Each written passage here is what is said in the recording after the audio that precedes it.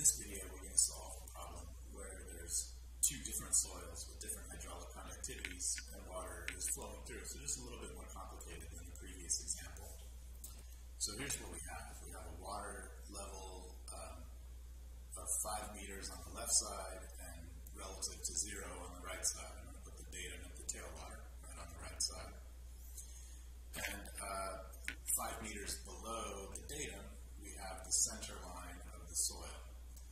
And the soil has um, two different specimens now in series, one with a hydraulic conductivity of K1 that's 4 meters long, and one with a hydraulic conductivity of K2 that's 6 meters long.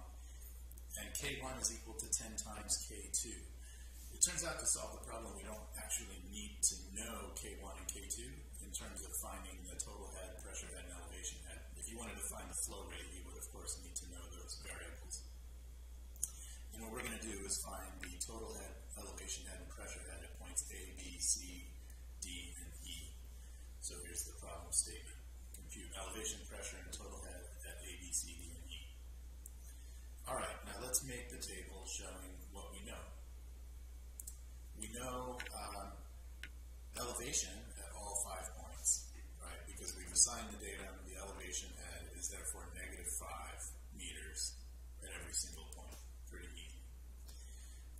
we know the pressure head at points A and B and at points D and E because all of those points have a clear path to a water surface that doesn't go through any soil.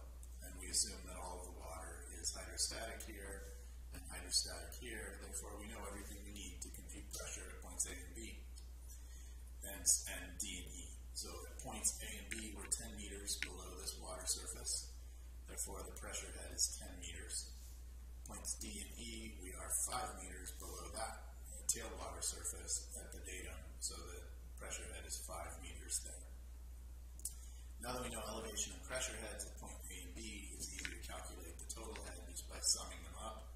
So we get the total head is 5 at points A and B, and 0 at points D and E.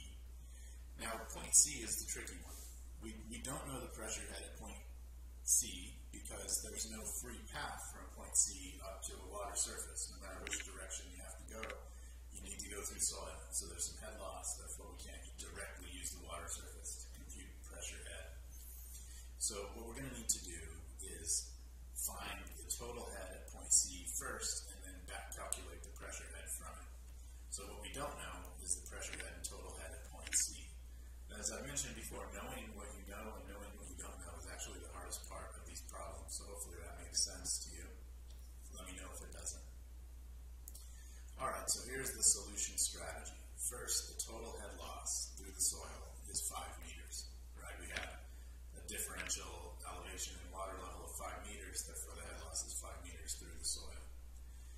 The total head loss has to equal the head loss through layer 1 plus the head loss through layer 2. So the total head loss always has to equal the sum of the individual head losses within the system. Okay, and the third really important condition that we need to look at is continuity of flow. Okay, the flow going into layer one has to equal the flow going into layer two, right? There's there has to be continuity of flow as you move through, assuming the soil is not changing volume. So we're assuming the volume of soil, the soil stays the same.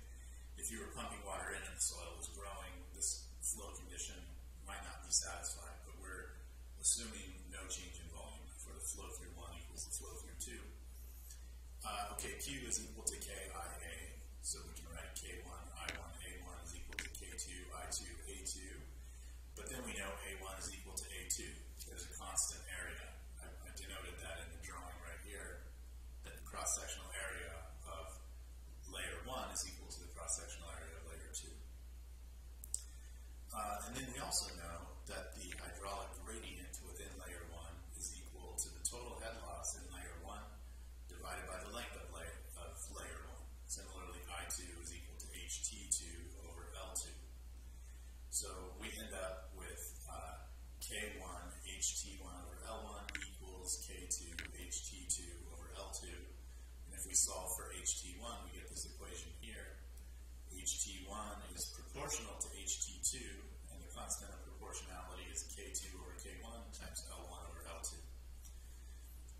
we substitute this equation from 3 into this equation here from 2, then we have everything that we need to solve for uh, HT2, right? So we would get HT is equal to this equation now is going to come here, uh, plus HT2, which was this part of the equation up there.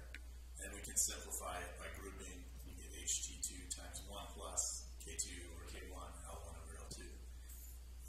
Solved for HT2. It's HT over that constant that we got here. All right.